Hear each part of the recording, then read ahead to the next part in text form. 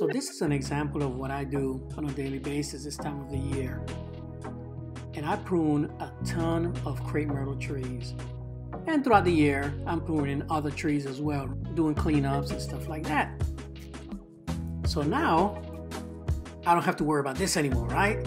Because I have a tool that's gonna minimize my effort and increase my productivity.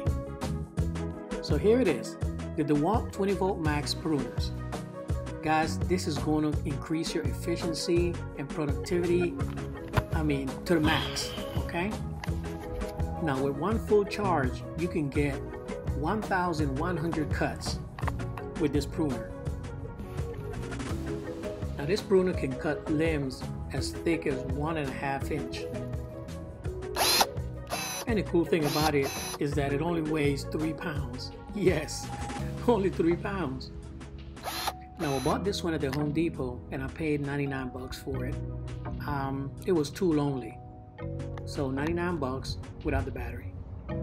So in order to cut, you have to press down on the lock switch and then the trigger. See, you press down on the lock switch and then the trigger. So it's like the lock switch is a little safety device for it. All right, let me go through the parts of this battery pruner so you guys can see. So we have the cutting blade, we have the fixed blade, we have the 20 volt battery,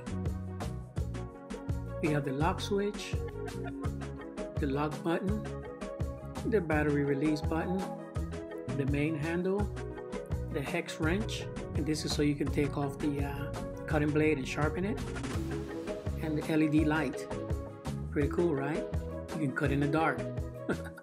and that's your trigger. And there it is, guys. Alright, so let me take this out in the yard and cut some branches, guys, so you guys can see how smooth this thing is.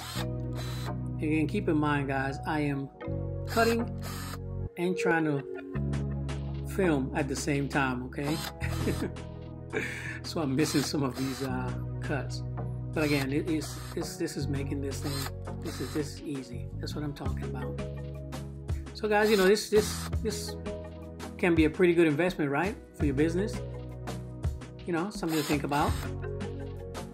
And I'm sure some of you guys will say, well, you know, I can easily use a pruner or a lopper, and, and that's fine. That's fine. That's what I'm here for, to show you what's out there. I know for a fact I'm going to use this because, um, again, it is quick, fast, and all I'm doing is squeezing the trigger. And this is doing all the work for me. All right, guys, let me know what you think. Um, yeah. Thank you for taking the time to watch my video, guys. Have a blessed one, and see you in the next one. Pop Smoke. Peace.